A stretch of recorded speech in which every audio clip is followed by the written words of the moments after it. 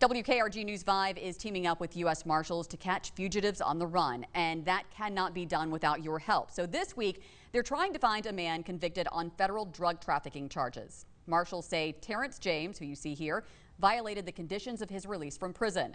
He has family in the Mobile area and may be driving a white Dodge Ram pickup.